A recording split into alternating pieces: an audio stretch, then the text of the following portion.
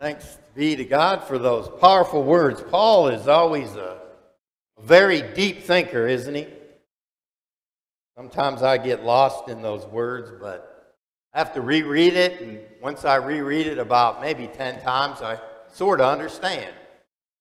So hopefully, this message will offer a little clarity to you today as we look at these words from Paul addressing uh, the church at Corinth. Now, you got to remember the church at Corinth, these letters that Paul writes are letters to the church that have specific questions. I'd imagine that one of the questions that the church at Corinth had was, well, why did Jesus have to die on the cross? I don't know. I've wrestled with that question a couple of different times myself. But anyway, it got me to thinking, um, and this is just totally unrelated to anything I'm going to say later, so just take it with a grain of salt. But is anybody on a diet here? One, one, two, okay, three. So I'm on this diet, and I got kind of freaked out because, well, during Thanksgiving, um, you know, I thought, well, I've got type 2 diabetes, but it's Thanksgiving, right? I will splurge on Thanksgiving because I don't get sweet potatoes and cranberry sauce and all the pumpkin pie with whipped cream.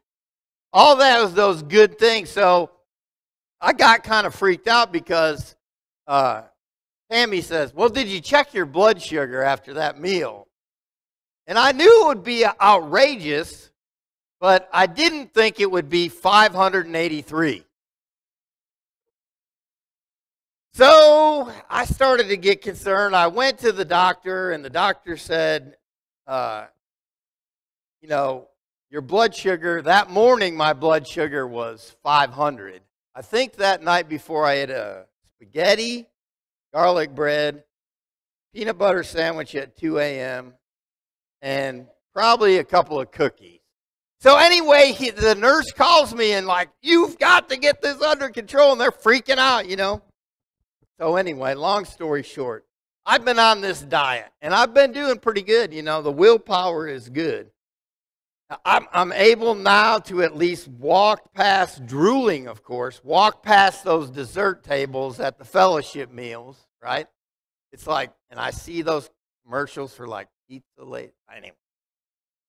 Willpower can take you a, a long way. But there's a story about a man who was on a diet and he was headed to work and he passed by the donut shop. Now, through his willpower, he made it past the donut shop, but he kind of started turning in the direction back to the donut shop. And he was, no, no, I can't get donuts. No, no, no donuts. And so the man, finally, his willpower was wearing out. I mean, he was just beside himself. So he did what every, every one of us do when our willpower and all of our resources wear out and we can't have anything on our side. What do we usually do then? Huh? No, we pray first.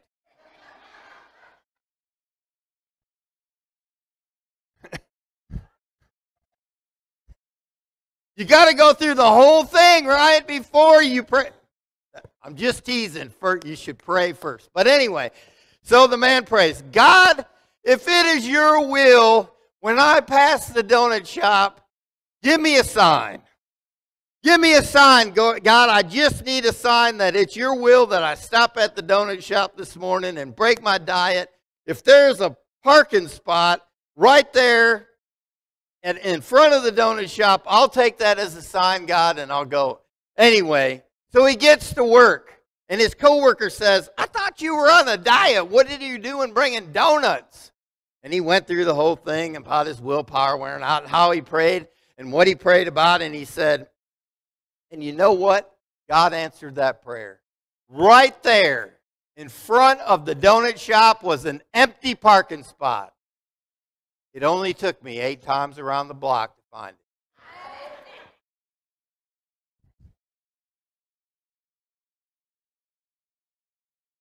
You know, don't don't have you ever prayed for a sign? Have you ever been at a place where something was unclear? Maybe it was a decision or a relationship you're in or a job change or moving across the country or, or you're just struggling with something and you go, God, I need a sign. Give me a sign. Now, the Bible says we shouldn't really pray for signs, but nonetheless, sometimes we find ourselves in that predicament. And really, the reason the Bible says don't pray for signs is because in the time of Jesus and a little before, the Jewish Eastern peoples looked for signs of some sort to confirm that God was telling them something or doing something in the world or in their lives right? So you can think about that. It's pretty obvious that that was the culture at the time because there's all kinds of signs and wonders in the Bible, aren't there? God does miraculous things. Like, you know, the wise men, they follow a star, a sign in the sky leading them to the Savior. Then you think about Moses, maybe, and God releases his people from Egyptian bondage and he walks with them in a cloud uh, by day and a pillar of fire by night, and they're trapped on the Red Sea, and God provides a sign. What did he do? What did he do? He split the sea. You got to be tracking with me today, people. This is thick stuff. We haven't even got to the meat of it. Anyway, so he parts the Red Sea, gives them a sign.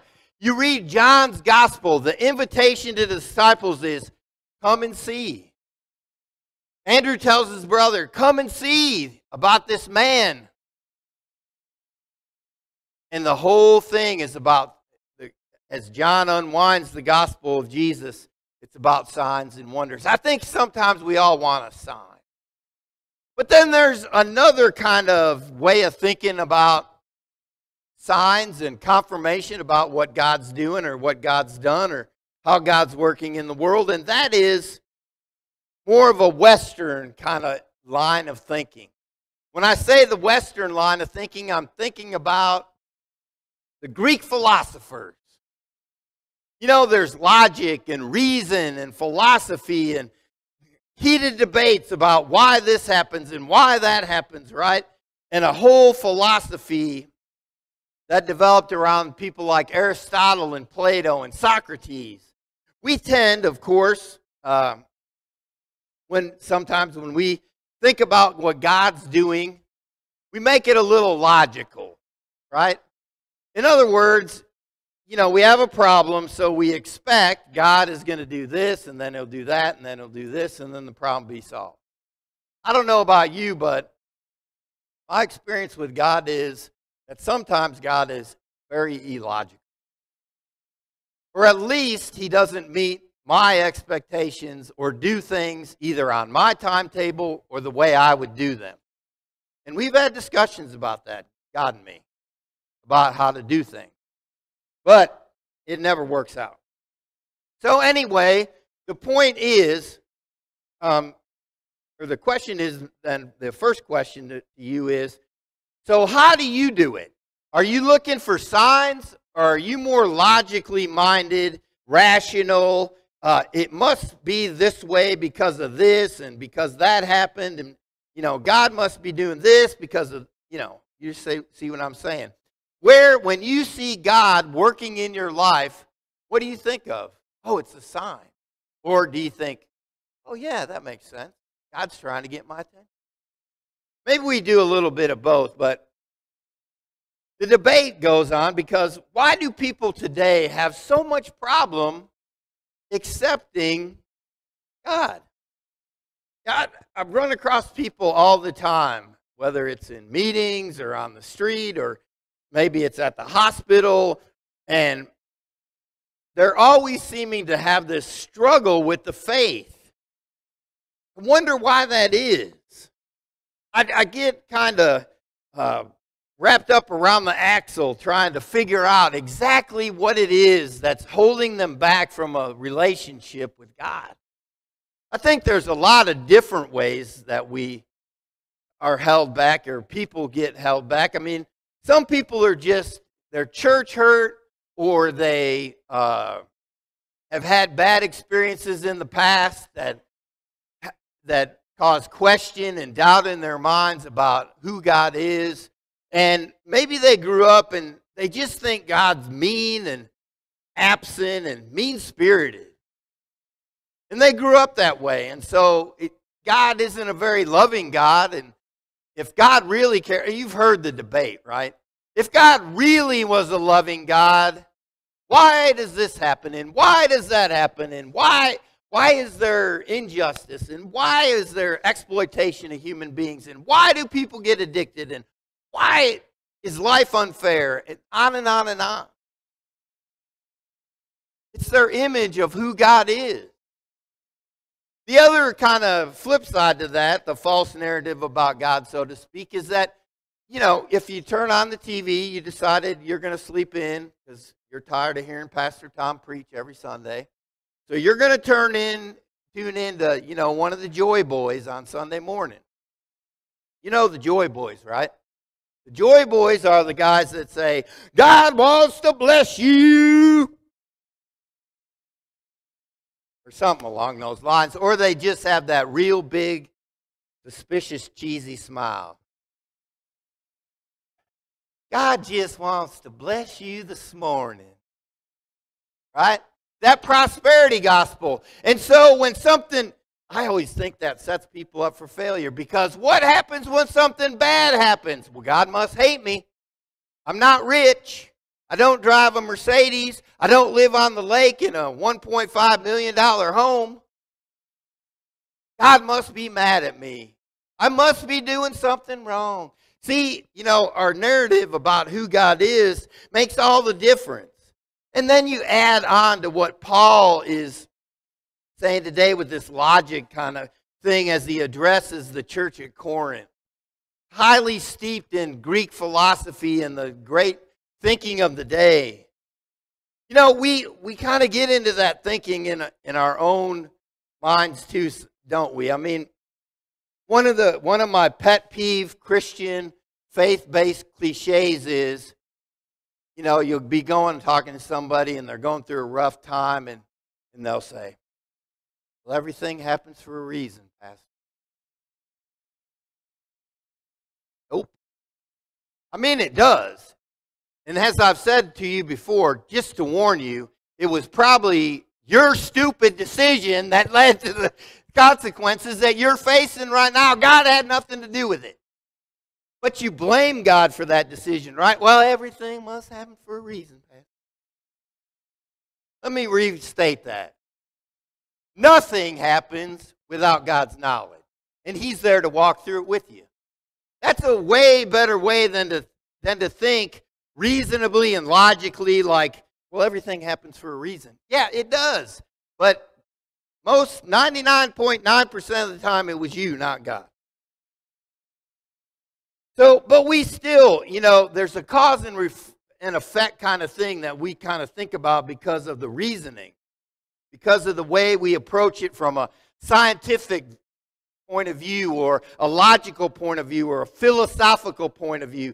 So we have to explain. In fact, our brains are made to do this, to connect dots.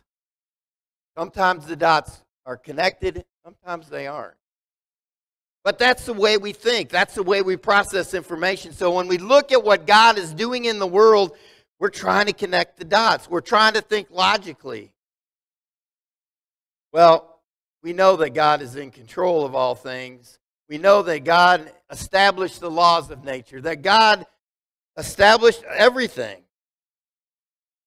So, I guess when we look at the difference between signs or logic and how we work out our faith with fear and trembling, as the scriptures tell us to do, maybe we have to look at both sides of that coin. Maybe we have to be open to learning some new things about God. Maybe we have to let go of the control in the way we would do things so that God can do things in our lives that need done.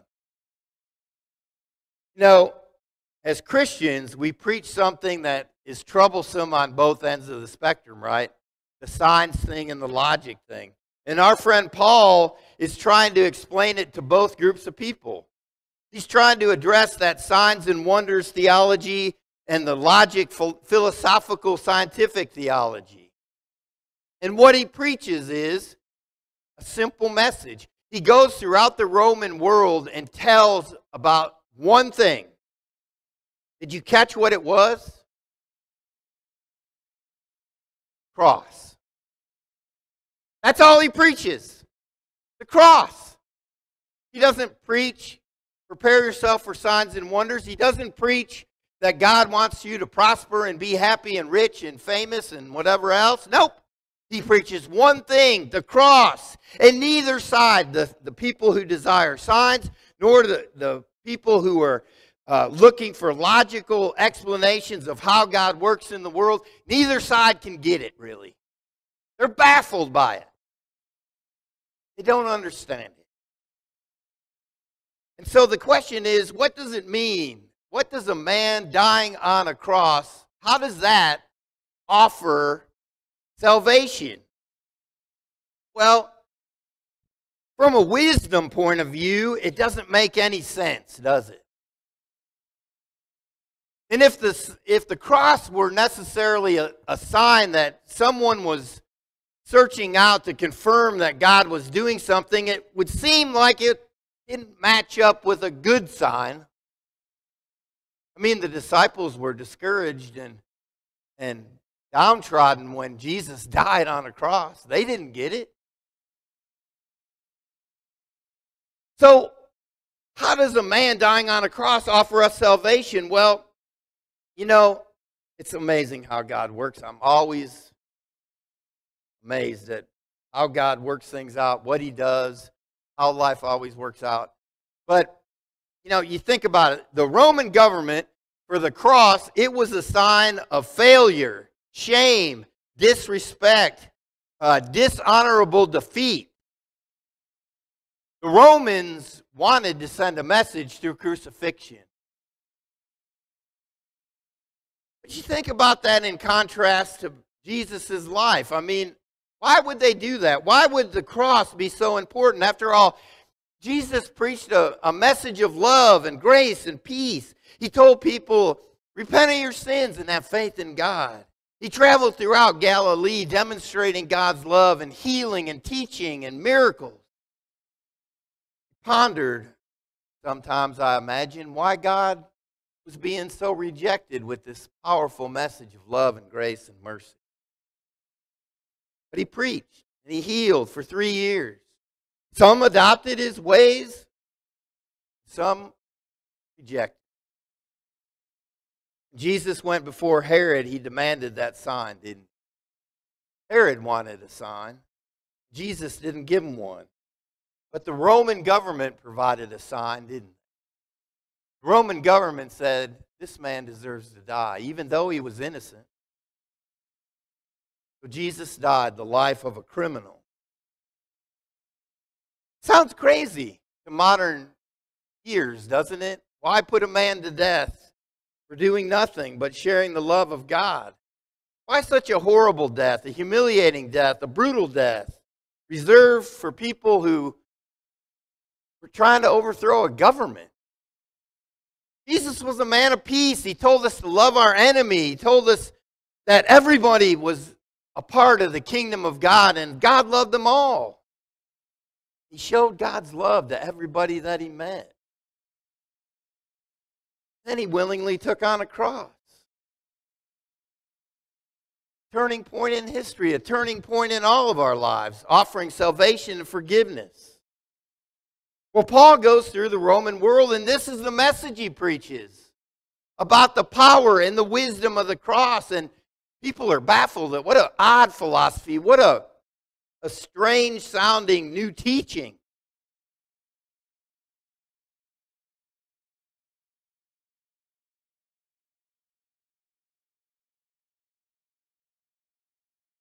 I think that's the way people hear it today?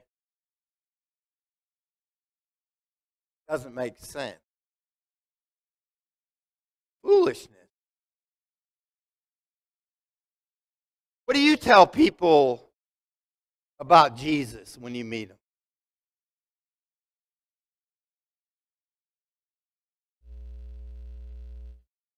No, I, I'll tell you what.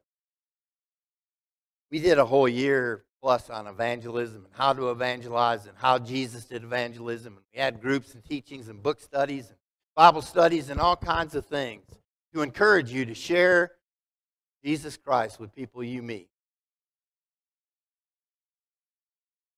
And we talked about it then, right?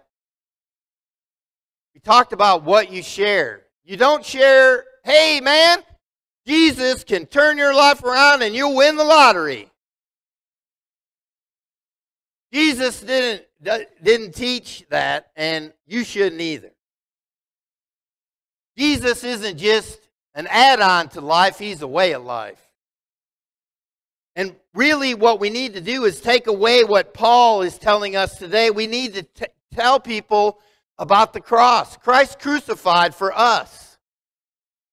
Now, I know, probably not a real popular message today, but who amongst us, if you know you're doing things that aren't leading to a good life, want to really hear the truth?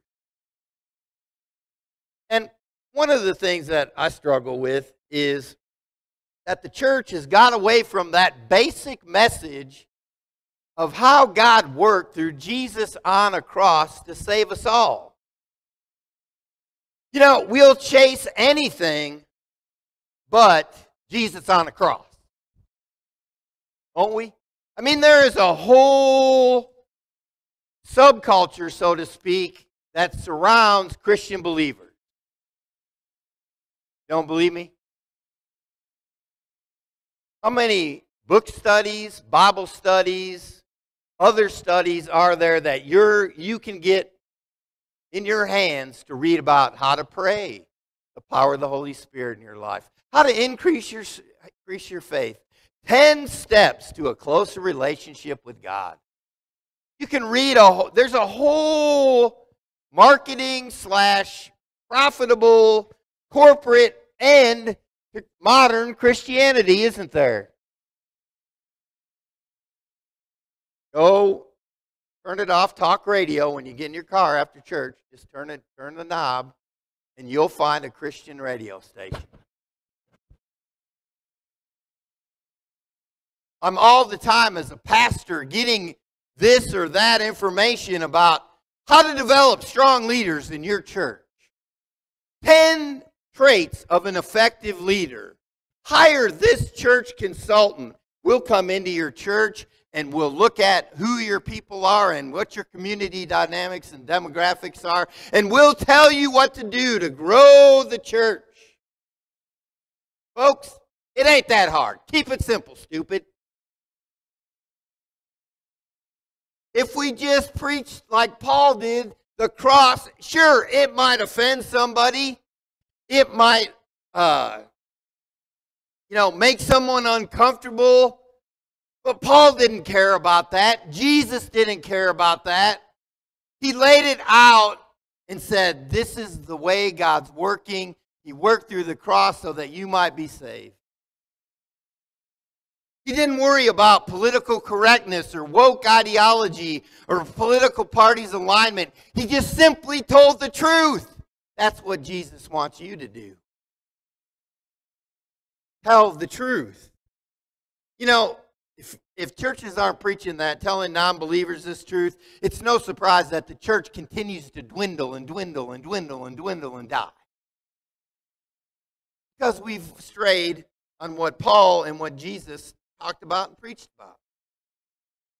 Jesus didn't so let's take a moment. Why is it such a stumbling block then, the cross, to people uh, who don't believe in Jesus, who don't follow Jesus? This week, uh, well, let me go back. I'm going to talk about my brother Kurt.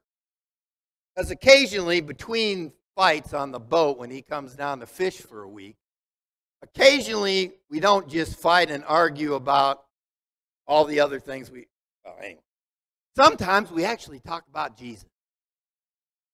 And he said an amazing thing to me one time about how uh, growing up, he remembers going into the church that we went to occasionally and seeing it was an old school Methodist church, big Court Street United Methodist, the church to go to in town.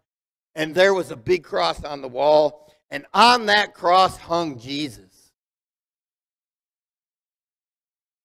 My brother said he walked in, he's just a little guy, so he doesn't understand anything. He walked in, he looked at Jesus hanging on the cross, and he said, Man, if God is like that, I don't want nothing to do with it. Because if I step out of line, I may be hanging on a cross.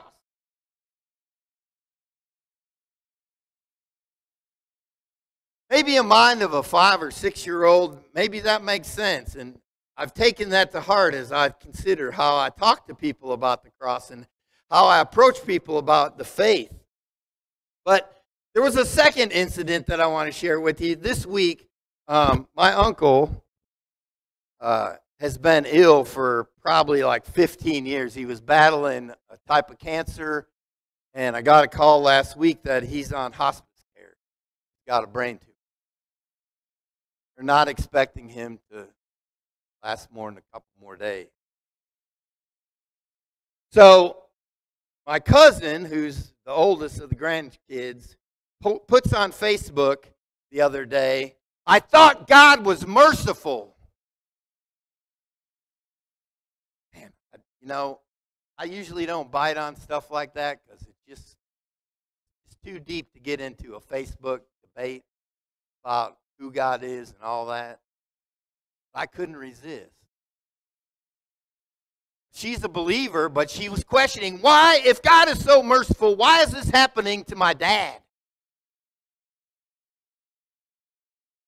We've got those questions sometimes, don't we? Well, anyway, I think it's, you know, our expectations get in the way, and we don't always understand God. Maybe we have that five and six year old theology of an angry, absent, wrathful, punishing, judgmental God. Or maybe we just haven't grown in our faith deep enough yet to understand that sometimes leaving this world and going on to, an, to the next is the mercy of God at work. I know you don't want to hear that necessarily. But maybe that's the way God's mercy is going to be revealed in this situation. There will be no more pain. There will be no more suffering. They're going home to be with the Lord. All right. Well, it's paradoxical. I mean, think about what Jesus taught love your enemies, turn the other cheek. In order to find your life, you have to lose your life. Think about the paradox of the Bible and how unexpected and curious God works. Sometimes confusingly, how God works in the world. Paul reminds us that the ways of God might look foolish to us, but it's the wisdom and the power of God at work in our lives and in the world. That's how it works. Our ways are not God's ways. So let me just say, what's going to be the simple explanation you tell the believer about the foolishness of the cross? Well, you're going to tell them, like we discovered in our evangelism thing, the nine words that sum up the gospel message in a nutshell. Anybody remember the nine words? God made it. What's two? We broke it. Number three, Jesus fixed it. God made it, we broke it, Jesus fixed it. The foolishness of the cross is God's plan once and for all to pay for the sins of the world. We couldn't do it with the law. We couldn't do it with a set of prophets. We couldn't do it on our own. The only way that sin could be dealt with is through the sacrifice of Jesus Christ on a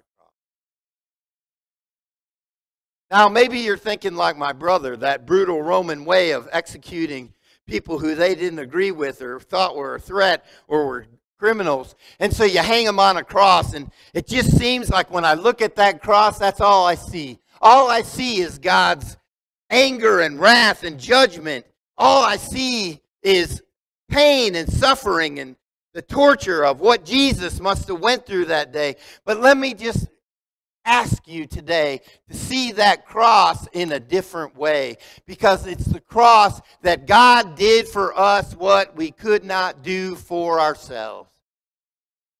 The cross isn't a sign of death, it's a sign of life. There's a reason why Jesus isn't hanging on that cross. You know what it is? Because he ain't there. He's resurrected. He's alive and he's at work in the world. The cross is not a message of hatred, intolerance, judgment, wrath, and anger. It's a sign of God's amazing, unconditional love for you.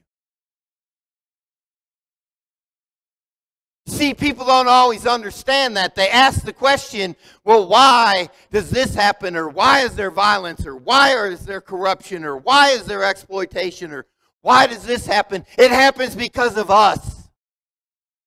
Our greed, our ambitions, our selfishness, our self centeredness, our sin. And Jesus, once and for all, took on our debt and paid it in full so that we might be restored to the right relationship with God. Be made holy, not through anything we did, but through what Jesus Christ did for us. If you understand that, then it's not all about the wrath and the foolishness and the scandal of the cross. No, it's about God's amazing unconditional love for you. He was willing to die for you. Isn't that worth living for? I think it is. I mean, I, I, am amazed. God, does, I told you, God does unexpected, crazy things in my life. And when I think I've got it figured out, God always throws a wrench into it all and lets me know who's in charge. But every time I've been in trouble, every time I've been down and out, every time I've struggled through life, every time I've faced difficulty, I know that there's still hope. I know that I can cry out and yell at God and say, Where the heck are you? Why aren't you answering my prayers? If you're so powerful, why are you allowing this to happen? God's big enough to handle that all. And I'm smart enough to know I can do that because I know He loves me unconditional because of a cross and Jesus Christ and what He did for me. It's not that I'm abandoning my faith or being disrespectful or irrelevant or irreverent to towards God. It's a honest cry of my relationship with God. I have faith in you, God. Why aren't you working? And he works in a foolish way, and I go, Well, I wasted my breath on that. You know, we need to preach across to people who are lost, hurting, and in need. We don't need to try to make it more acceptable for folks. We don't have to follow the latest, greatest three steps to the evangelical growth of the church. We don't need any of that. What you need to do is get the boldness and the courage to proclaim God's love. God made it. He broke it. Jesus fixed it. I hope that you'll take that invitation to heart. Said it a lot that, you know, the church, our society, our world needs something. What we're, what we're trying isn't working. It's not going to come from the next denominational program. It's not going to come from a church consultant who gives us the 10 easy steps to spiritual growth or church growth. It's not going to come from a political answer, a new law. It's not going to come from the ways in which the world thinks it's wise. It's going to come from the foolishness of God. Scandal of the cross. God's people being bold enough to stand up against evil stand up against injustice. Stand up so that people can be set free from the bondage of addiction, from the bondage of the past, from their misconceptions about God. That's how the world changes. One act of love. I hope that you'll join me. Hope that you and I will be partners in the kingdom. Do just that. Pray. Lord, sometimes your ways seem so foolish. Told Naaman to go into the river and dip himself seven times, cure his leprosy, and he laughed and said, I ain't doing that.